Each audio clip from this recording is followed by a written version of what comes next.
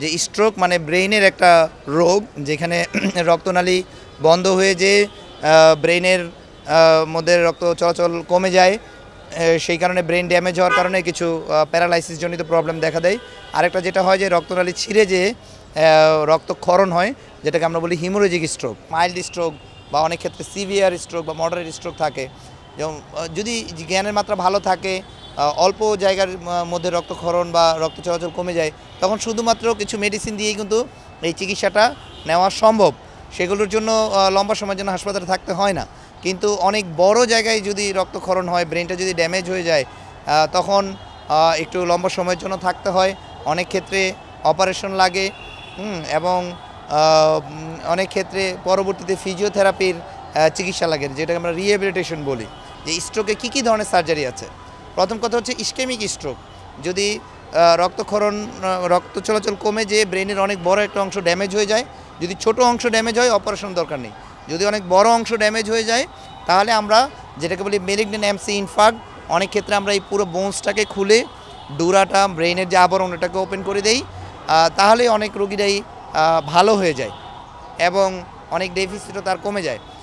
So ischaemic স্ট্রোকে যে আসলে অপারেশনটা it's a life saving surgery হ্যাঁ তার যে দুর্বলতা থাকবে সেটার জন্য পরবর্তীতে তাকে রিহেবিলিটেশন করতে হবে।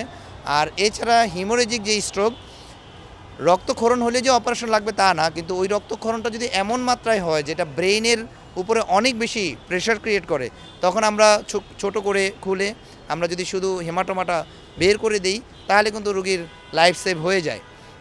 এছাড়াও অনেক ক্ষেত্রে আমরা যেটা করি, কিছু রক্তনালী ফোসকা হয় যেটাকে আমরা এনিরিজম বলি, সেটা দুই রকম চিকিৎসা আমরা করতে পারি।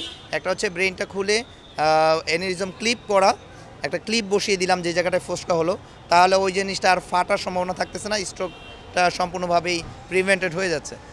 আরেকটা যেটা করা যায়, যেটা আপনারা হার্টের ক্ষেত্রে আমরা দেখি যে রিং পরানোর মতো করে, আমরা এই যে পায়ের না ফিমোরাল আর্টারি বা রেডিয়াল আর্টারি দিয়ে আমরা ব্রেনের যে জায়গাটায় ফোসকা, ওই জায়গাটায় আমরা ক্যাথেটার পৌঁছে যায় ওই জায়গাটা নিয়ে এবং সেখানে কিছু কয়েল আমরা পুশ করে দিই।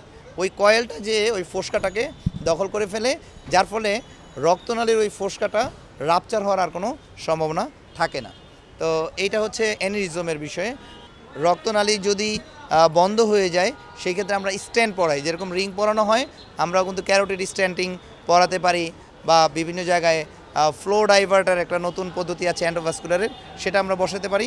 সেগুলো করলেও রক্ত চলাচল স্বাভাবিক থাকে। রক্তনালীটাকে স্বাভাবিক রাখাটাই কিন্তু আমাদের দায়িত্ব। সেটা যে কোনো উপায় হোক অ্যান্ডোভাস্কুলার বা মাইক্রোভাস্কুলার তো এই সার্জারিগুলো আমরা ঢাকা মেডিকেল বিএসএমএমইউ নিউরোসায়েন্স এই তিন জায়গাতেই আমরা সরকারিভাবে করে থাকি এবং বেসরকারি অনেক বড় বড় প্রতিষ্ঠানেও কিন্তু ইমার্জেন্সি আসপেক্টে এই অপারেশনগুলো করার সুযোগ আছে।